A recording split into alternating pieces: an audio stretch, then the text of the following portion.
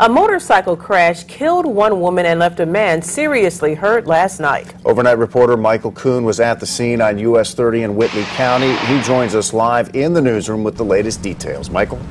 All lanes of US 30 are back open this morning after emergency crews closed the westbound lanes for several hours overnight. The crash happened around 10 in the westbound lanes between County Road 600 and 500 East near Coesse. Police at the scene told me the motorcycle was the only vehicle involved in the crash. Initial investigations show a man was driving a motorcycle west on the highway with a woman riding on the back. Police believe the driver might have lost control after hitting an uneven area of road where crews have been resurfacing it. The motorcycle then crashed into a ditch in the median. The woman was pronounced dead at the scene.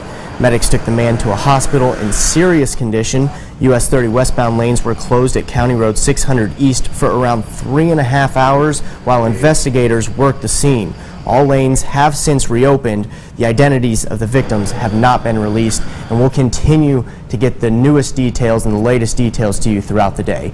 Live in the newsroom, Michael Kuhn, News Channel 15.